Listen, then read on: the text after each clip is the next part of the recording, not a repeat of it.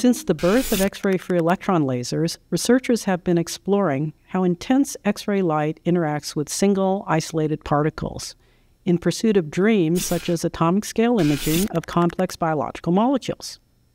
But what happens when that intense light propagates through a collection of such particles?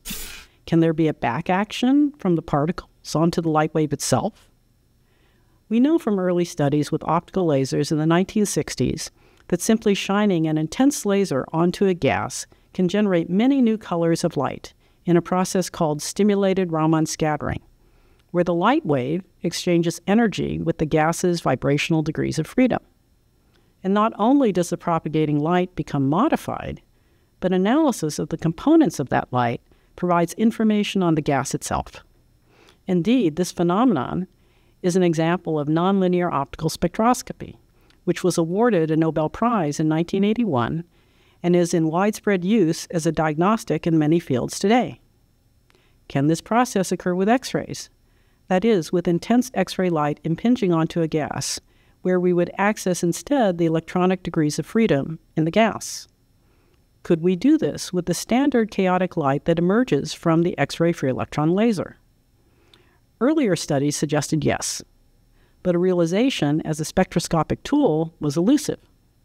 This was the topic of my student Kai Li's doctoral thesis, which started with the theoretical simulations of the process and an experiment to characterize the incoming radiation spectrum, and culminated in this wonderful experiment at the European XFEL SQS end station. The experiment was performed at the Small Quantum System, the SQS scientific instrument of the European XFEL. SQS is dedicated to experiments in the gas phase with the main scientific focus on nonlinear studies, making use of the high intensity of the FEL, and on dynamical studies, making use of the short pulse duration. One of the main components of the instrument is the focusing optics. It's a pair of large, highly polished mirrors, allowing us to produce a very small focus in the interaction volume, meaning to create a very high density of photons, which is necessary to drive these nonlinear processes. The experiment itself used a rather simple setup.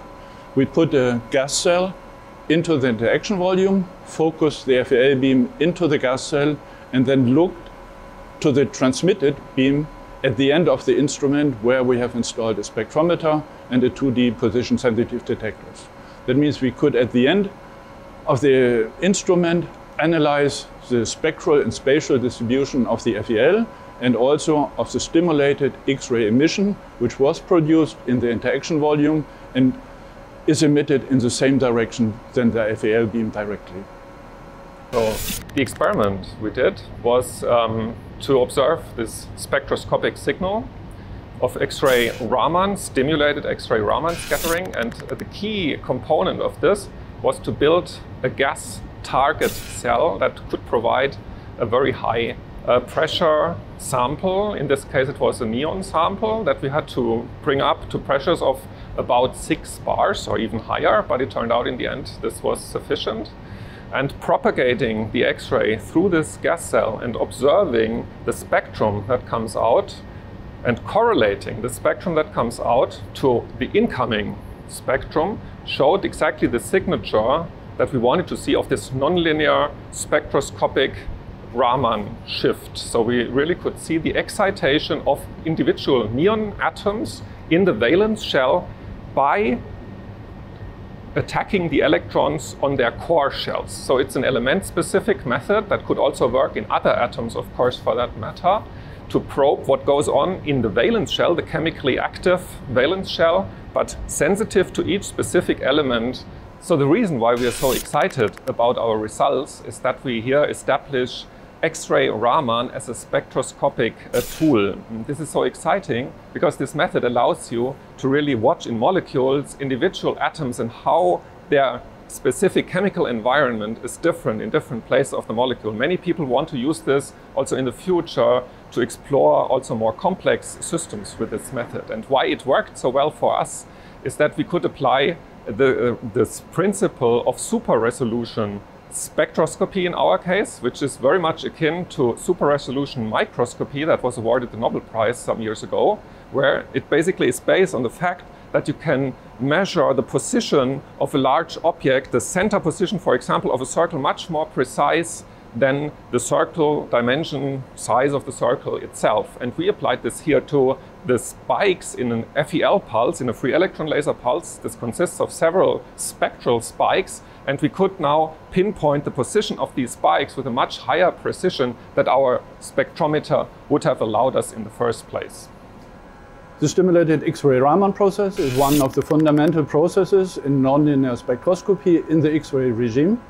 And already the fact that we could measure this process at the SQS instrument is already showing that we have all the conditions here at the instrument to drive these nonlinear processes. On the practical point of view, the stimulated process is a two-photon process. That means you excite a system with one photon, a molecule, for example, at an excited state, and you use the second photon of the same pulse to drive the de-excitation. That means you can really control the excitation and de-excitation by the photon itself. This gives you many advantages for application because you can produce a final state at wish. And this is useful for, for some photochemical reaction like catalysis uh, processes. Because you stay in the neutral system, you can avoid ionization. And ionization in the X-ray regime is quite often uh, the reason for radiation damage. That means in biological molecules that you can avoid to introduce damages. And we expect, after having shown that it's possible to do the experiment here, that many new applications will come, mainly in chemistry or biological related experiments, where also for doing dynamical studies, the newly available attosecond pulses, giving very short, ultra short pulses, will have a big benefit for this type of studies.